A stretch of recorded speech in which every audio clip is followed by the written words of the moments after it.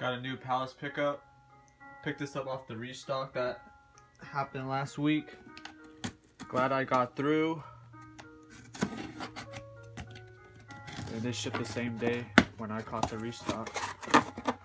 Missed out when these first dropped because the bots ate everything.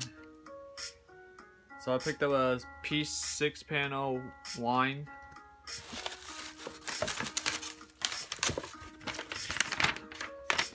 The return form straight from Palace. And get a sticker.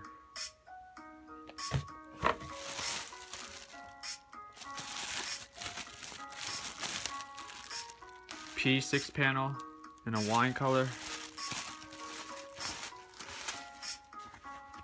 Here you have it. Like a dad cap.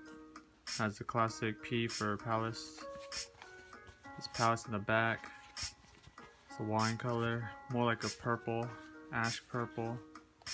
Glad I was able to pick this up for retail. These are going for about a hundred when resale prices, so glad I was able to scoop this up. Just a quick pickup off the restock from Palace. Thanks for watching. Don't forget to rate, comment, subscribe.